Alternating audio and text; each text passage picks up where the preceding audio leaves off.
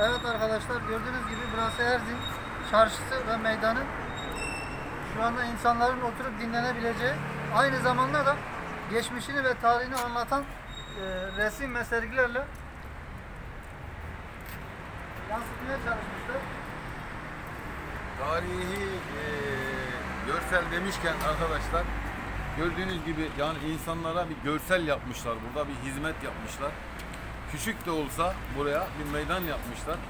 İnanın insan burada gelip sadece bu eserlere bakarken bile bir mutluluk duyuyor, bir rahatlık duyuyor. Bununla birlikte Erzin ve e, akla gelen ilk akla gelen Ayas'tır. Ayasos Krallığı'dır. Ayas'ın e, gerçek tarihi ismi Ayasos Krallığı'dır.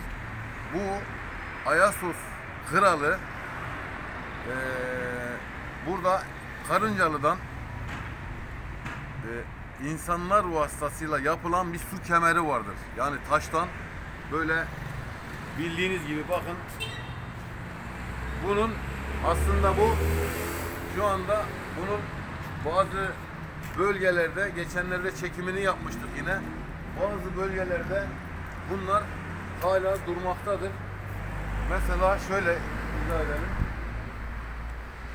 Bunun gerçeğini zaten çekim olarak yaptık, çekim olarak anlatmıştık.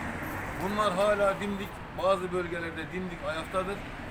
Kale kapısı falan sanarlar. Halbuki kale kapısı değil, bakın. Bu görmüş olduğunuz sistemin tek bir amacı var.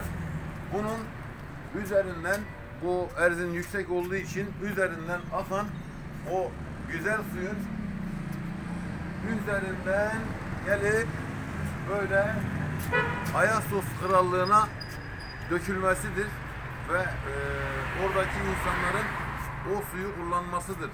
Boru sistemiyle değil de kemer sistemiyle gelmiştir. Zaten burada anlatıyor. Sen gibi yakından gösterirsen. Tarihi su kemerleri. Tarihi bize sorsunlar. Hani diyorlar ya ilkokul mezunu benim için. Evet ilkokul mezunuyum. Açın bir platform. En kralınız gelsin otursun. Hepinizle platformda konuşalım. Tarihi konuşalım. 3000 yıl önceki tarihi de konuşalım. Bugünkü tarihi de konuşalım. O diplomalar işe yaramaz. Burası işe yarar.